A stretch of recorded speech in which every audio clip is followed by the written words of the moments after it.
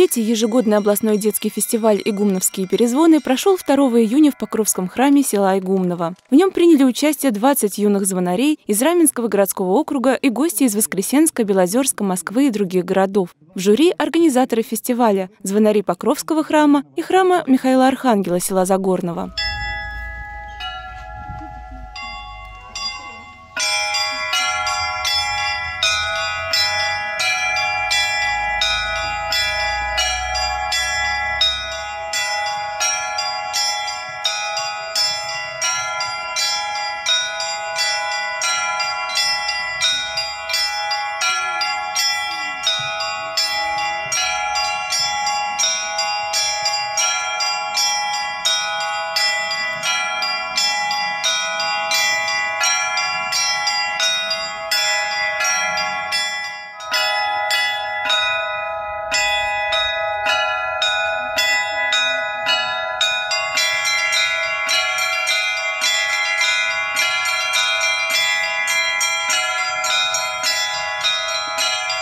Конкурсанты соревновались в трех возрастных категориях – 6, 9, 10, 12 и 13, 15 лет. Один за другим ребята выходили к колоколам и радовали зрителей и жителей села красивыми перезвонами.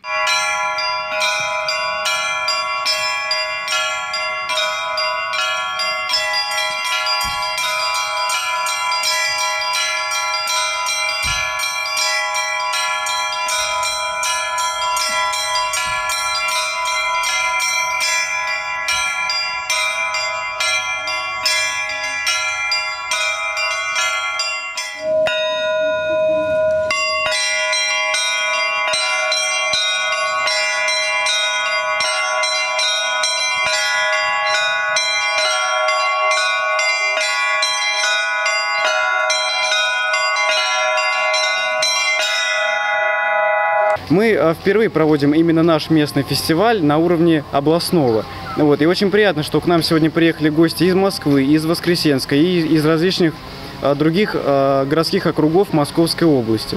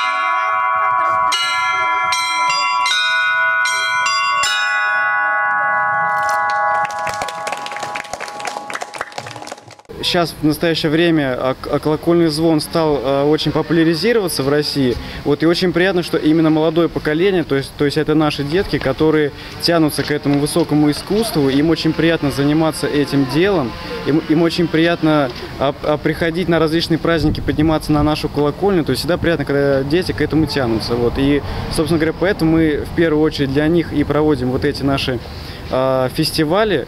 Также на базе нашего храма а, проходит детский областной фестиваль осенний, осенние перезвоны, он обычно проходит в ноябре, и вот я уже надеюсь, что через несколько месяцев мы сможем снова принять на базе нашего храма гостей уже вот этого второго областного фестиваля «Осенние перезвоны».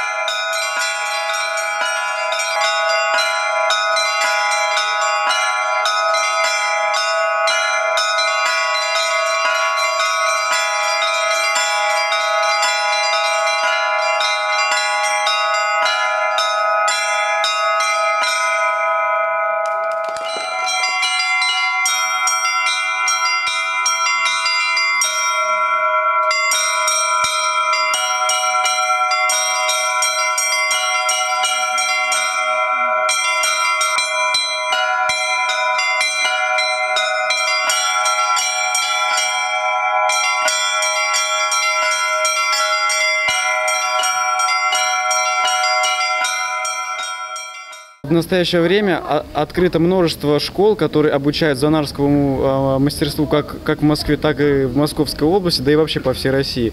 И очень приятно, что вот на базе нашего храма с 2017 года проводится вот такое э, обучение в звонарском классе, где дети обучаются вот, вот этому мастерству.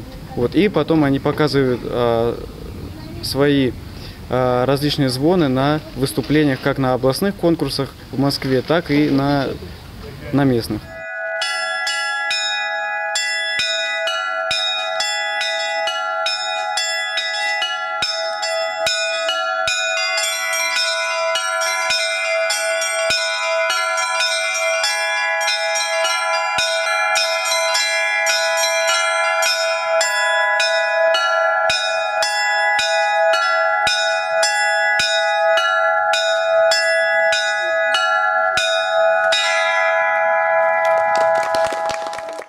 Жюри подсчитывало баллы, участники делились другими своими музыкальными талантами. Выступления учеников воскресной школы «Подсолнух», игра на фортепиано и скрипке украсили праздник.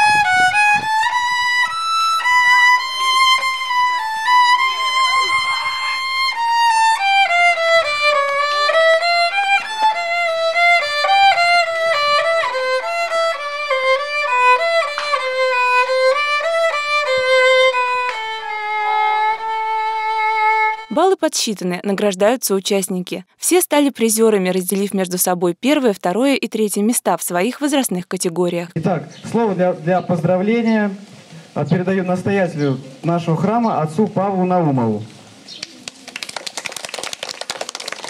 Христос воскресе! Воистину воскресе! Поздравляю всех, как мне кажется, с удачным проведением этого фестиваля. Будем выходить на международный уровень.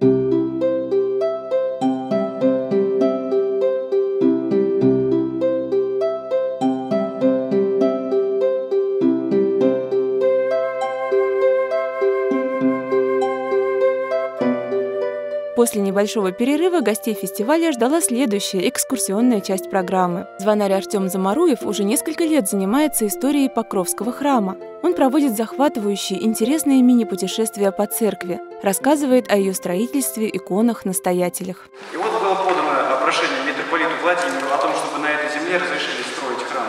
Это прошение вскоре митрополитом Владимиром было одобрено, и необходимо еще было найти средства на постройку этого храма. И вот деньги собирались по сборной книжке по всей стране. И уже осенью 1899 года собирается специальная комиссия. И вот наш храм строился в период с 1900 года по 1902 год. Зимой строительство прекращалось, и недостроенное здание перекрывалось железными листами, чтобы внутрь не попала влага. И в этот момент строительные работы производились изнутри.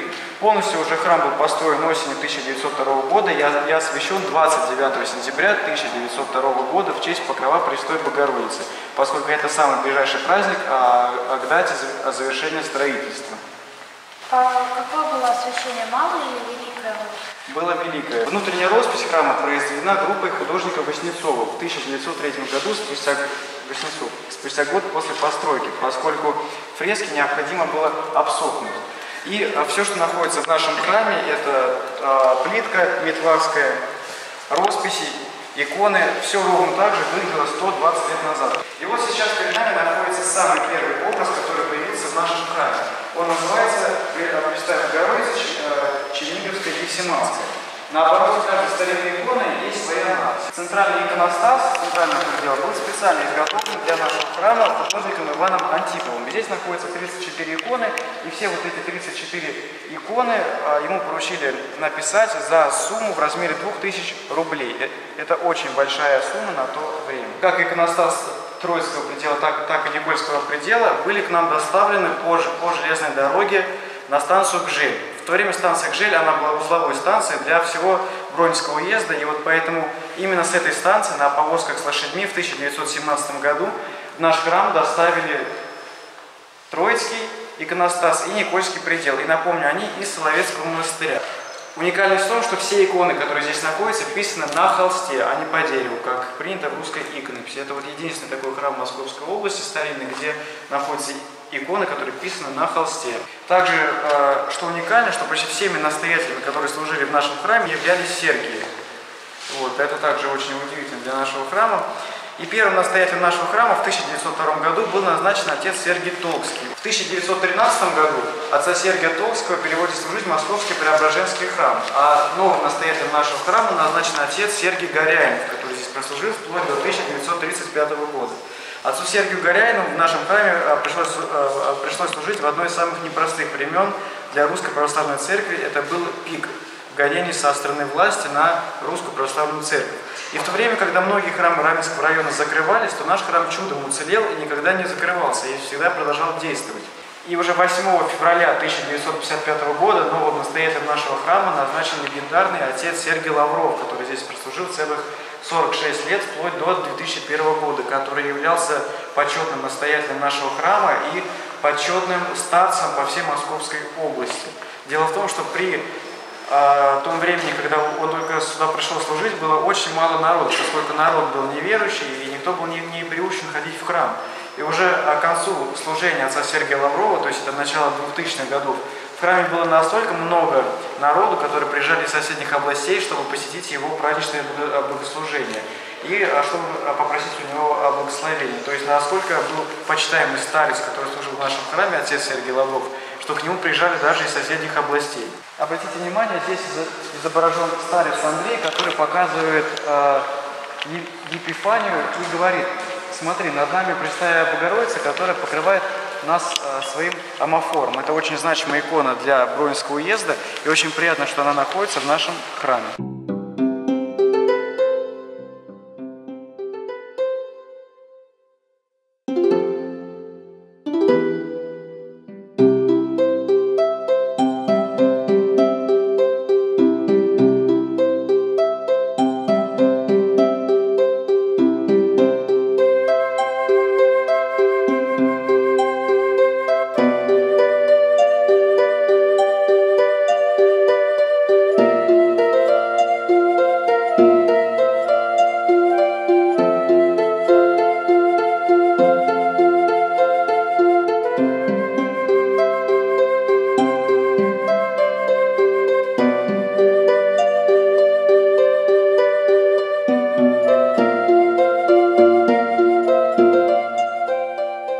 Светлое пятно на сводах храма? Такими яркими скоро станут все росписи. Храм планирует очистить от налета копоти в ближайшее время. Экскурсия оказалась настолько интересной, что дети и взрослые не заметили, как прошло полтора часа. Задавали вопросы, а Артем, казалось, мог бы рассказывать еще и еще, но нужно было успеть посетить колокольню.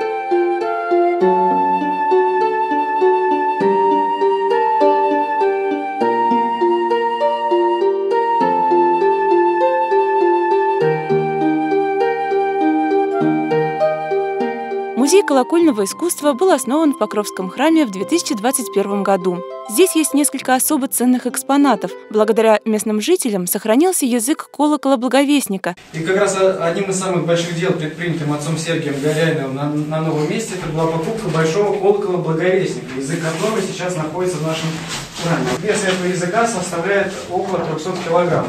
Вес колокола 5 тонн 730 килограмм.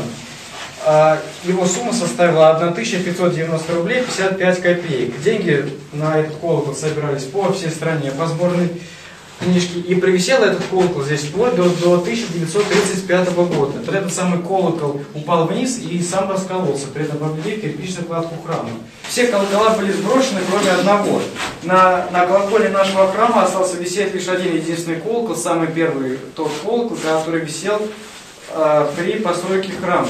И э, многие спрашивают, почему вот этот колокол не сняли. Дело в том, что, что в то время колокольный звон, э, колокольный звон являлся также набатом. То есть набат это такой небогослужебный звон, и в него звонили э, в основном, собирая всех на какие-то чрезвычайные ситуации. Начиная с 1976 года в нашем храме колокольный звон не прекращался и до настоящего времени. И уже с приходом в наш храм, обратите внимание, Павла Наумова и отца Макария Макурина, в нашем храме колокольный звон начинает очень активно развиваться. А, закупается первый, а, второй полноценный набор колоколов в 2002 году, то есть спустя год, а, спустя сто лет после первого, в честь, в честь празднования со дня, столетия со дня освящения нашего храма. Этот э, набор мы закупили на колокололитейном заводе братьев Шуваловых в городе Тутаеве в Ярославской области. И этот набор висит в нашем храме и в настоящее время. Также с 2017 года на базе нашего храма открыт звонарский класс. Там обучаются как дети, так и взрослые.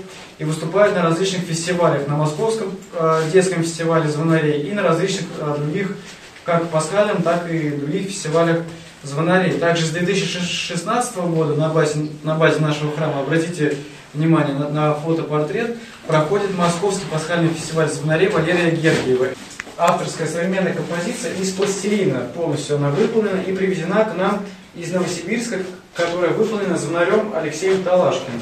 Вот такие игрушки подобные были популярны на Руси в 17, 18 и 19 веке. И вот сейчас, например, перед нами такая игрушка, которая называется «Медведь-звонарь», а которая выполнена полностью из пластилина. Слышите этот звук? Похож на электронное пианино, но это тоже колокол, корабельная рында.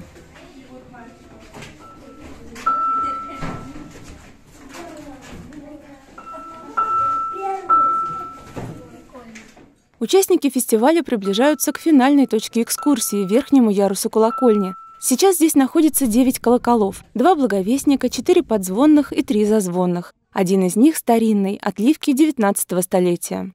Всего за историю нашего храма было несколько звонарей. В 1902 году первым звонарем храма становится э, Герасимов, Филиппов Герасим Дмитриевич, который здесь звонил до 1913 года. В, 1913 году звонарем становится Петр Федорович Агапов, э, который имел музыкальное образование и звонил как раз в тот самый большой колокол Благовестный, который крепился вот на этой самой крестовине, которая обита деревом. Почему деревом? Чтобы звук от вибрации от колокола не, не пошел дальше, не появилась трещина на, на, на кирпичных стенах. И звонарь Петр Агапов, которому в то время было 8 с лишним лет, раска... вот здесь вот прям по центру, вот прям по центру раскачивал вот этот 300-килограммовый язык вручную, прям по центру. А, в 1000, вот, а потом колокольный звон запретили, и в 1976 году звонарем храма становится Николай Максимович Дудкин. С такой фамилией? Дудкин, да, да, который в нашем храме прозвонил до 2002 года. И с 2002 года в нашем храме служит звонарь Михаил Виноградов, который сегодня был в жюри. Вот. И потом с 2020 года я и Ирина Евгеньевна которая тоже была в жюри в составе. Обратите внимание, э, перед нами самый старинный колокол, который висит на нашей колокольне. Это тот самый Сандинский колокол. По сведениям экспертов, он изготовлен в самом начале 19 века, а наш храм построен в начале 20 века. То есть, где находился вот этот колокол за 100 лет до того, пока он попал в наш храм, неизвестно. Вот имейте такой звук. Внимание. Сравнивая с современным. А, вес самого большого колокола благовестника сейчас составляет 430 килограмм и малый колокол 300 килограмм. 300 килограмм нам подарил в 2009 году Виктор Валентинович Неволин. А, в 2017 году нам, нам Даниловский колокольный центр из Москвы подарил самый современный колокол для нашей колокольни. Это как раз вот это, вот это на нем даже есть гравировка Даниловский колокольный центр. Это самый современный колокол, который висит на нашей колокольне. Сам, самый большой колокол а, Благовестник в Рамском районе находится у Павла Лялина в храме. Его вес составляет а, 800 килограмм. И вообще раньше а, 6-5 тонн это была норма вообще для русских православных храмов, колокола. И, и в то время, вот, когда а, здесь висел тот, тот колокол Благовестника, почти 6 тонн, его было слышно и, и в Раменском, по воспоминаниям старейших прихожан, и в Желе даже.